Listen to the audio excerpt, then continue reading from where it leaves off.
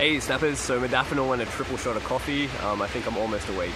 It'd be great if I had like more of a fine-tuned balance and control over my biochemistry, but Alright, so let's see if I can throw out some random thoughts on complexity theory, on chaos theory, on entropy, on self-organizing systems, and all sorts of cool stuff like that. We know the entropy of the universe is always increasing, meaning the second law of thermodynamics is kicking in uh, and kind of dissipating the heat, so it goes from a state of order to a state of disorder and decay. Which means we know that there's going to be a heat death of the universe where everything is so spread out that it's essentially cold, and so nothing much can happen anymore. It just kind of like dies essentially, and time almost stops. It's kind of funny that we're the only species on this planet aware of its own mortality, but we're also aware that the universe has a mortality as well, and that's interesting. But so at the Big Bang, there was like, you know, everything was packed into a tiny little, like, you know, the size of a golf ball or whatever. Um, and you had a massive singularity, which caused massive chaos and a sudden, like, and then that chaotic kind of massive, uh, incredibly hot uh, universe, that initial universe, uh, complexity formed when things started cooling down. That's where you get, you know, planets and galaxies and stars.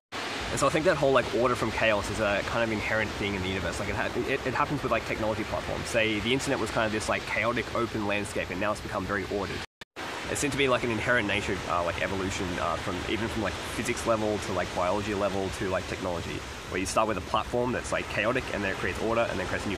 And this is why I really love platforms like Ethereum because they're essentially taking the, the ordered, structured internet that we have now, like Facebook and Google and all those walled gardens, and it's creating it, bringing it back to a new like chaotic platform.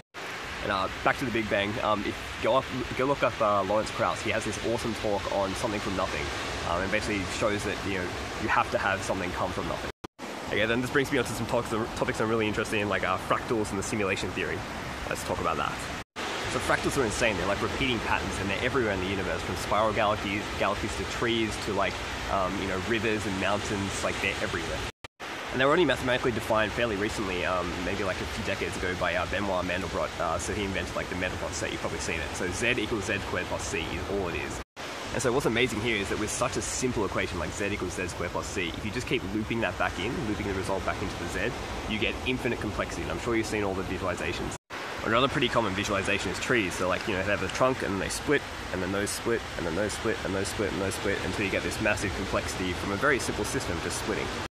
And so that raises a very kind of kind of out there thought that this idea that uh, perhaps the universe is just a fractal equation, but perhaps the initial starting equation was very small and very simple we see the universe as very like almost infinitely complex with all these life forms and just like the vastness of it and everything. But it's only because it's been through so many iterations of that equation and we're just at the endpoint. But then that sparks the idea of the simulation theory. Um, I mean, if you can actually create a complex universe like like ours from a very simple equation, then you can simulate it on a computer quite easily. So yeah. And if you go look up simulation theory, uh, there's a lot of great articles and talks out there. Um, but basically, everyone comes to the conclusion that probabilistically, mathematically, we are in a simulation. Again, next thought uh, self organizing systems and bottom up kind of evolution uh, and super collective intelligence. Let's discuss that. Okay, so ant colonies are really fascinating. They build incredibly complex structures. Um, even like some of them have like air conditioning ducts to like vent the air. Um, some of them like farm, um, and they have some amazing social. And that's really the perfect example of like self-organizing systems that a human can actually understand because they can look at it from the top and see exactly what's happening. But see, if you took an individual ant and asked them like, "Hey, what have you built?" they would have no fucking clue. And even if they elected like a little ant government and uh, created coordinated projects and had a tax system and all this crap, they might get some isolated pockets of little complexity and projects, but nowhere near the vastness of what they're currently so I think that same concept applies to humans in many regards. So like our global economy, the internet, it's a self-organizing system for the most part. Um, no one individual can understand how it all works. Even that thought, uh, thought experiment of like taking a pencil and saying, well, how do you make this from scratch? No one individual knows how to make a pencil from scratch. It's a collective emergent system that we have. It's this idea I often mention where humans are kind of like a, a, single global brain, where each of us are neurons in that brain, and you know through the internet, and once we start getting implants, it's going to be more and more so where we create a collective AI.